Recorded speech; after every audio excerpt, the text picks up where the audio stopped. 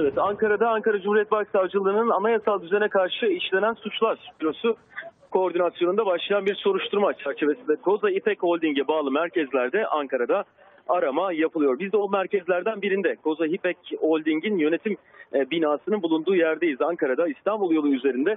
Burada da arama devam ediyor. Burada e, çok sayıda polis memuru e, binanın girişi önünde önlem almış durumda. Binaya sadece e, avukatların e, ve emniyet yetkililerinin ve holding yöneticilerinin girmesine izin veriliyor. Şu anda içeride arama sürüyor ancak şu ana kadar bilgi alabilmiş değiliz. Ne düzeyde bir arama söz konusu, hangi evrakların incelendiği e, şu an için net değil en azından bizim açımızdan. Yalnız soruşturmayı yürüten polislerin mali şubeden polisler olduğunu biliyoruz. Bu nedenle muhasebe kayıtlarında bir inceleme olduğunu tahmin etmek güç değil.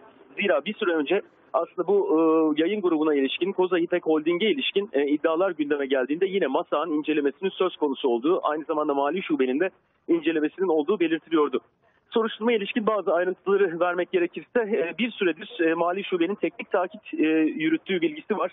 Bu teknik takip çerçevesinde holdingin yöneticilerinden Akın İpek ve diğer bazı isimlerin de yakından incelendiği ifade ediliyor. Akın İpek soruşturmadaki e, önemli suçlamaların odağındaki isimlerden biri Koza İpek Holding Yönetim Kurulu Başkanı.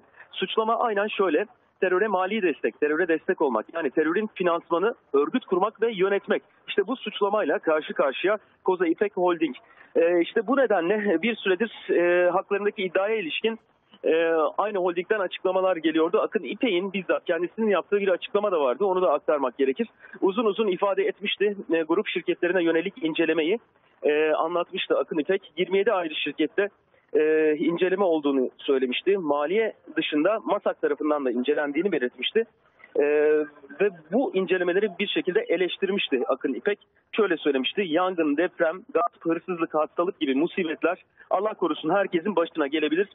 Bunların dışında hiçbir endişemiz yok demişti. Eksik belgelerimiz yok. Denetim yapan kamu kurumlarımıza genel merkezlerimizde odalar tahsis ettik. Onların denetimlerinde eksik belgeler çıkacağına inanmıyoruz ifadelerini kullanmıştı. Grubumuzla ilgili herhangi bir hayali suç senaryosunun dahi dayanağı olamaz.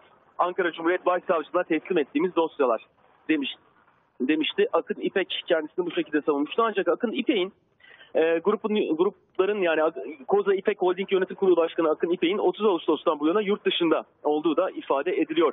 Soruşturma dosyasında kuşkusuz gözaltına alınması istenen savcılık talimatıyla gözaltına alınması istenen isimler de var. Ama bu isimlerin başında yer alacak olan Akın İpek'in yani yönetim kurulu e, başkanının yurt dışında olduğu belirtiliyor. Toparlamak gerekirse sabah saat 8 sularında başladı. Ankara'da birkaç noktaya polis operasyonu. Bu noktalar hem Koza Davetiye'nin binası hem İpek Üniversitesi'nin ee, Ankara'da Dikmen semtinde bulunan İpek Üniversitesi'nin binası hem de holdingin merkezi şu anda önünde bulunduğumuz Koza İpek Holding'in merkezi.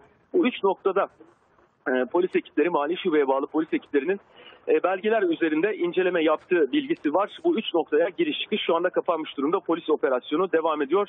Soruşturmayı Ankara Cumhuriyet Başsavcılığı'nın anayasal düzene karşı işlenen suçlar bürosu yürütüyor ve soruşturmadaki suçlama terörün finansmanı ve örgüt kurmak ve yönetmek bu suçlamayla yürütülüyor. Soruşturma gelişmeleri aktarmaya devam edeceğiz.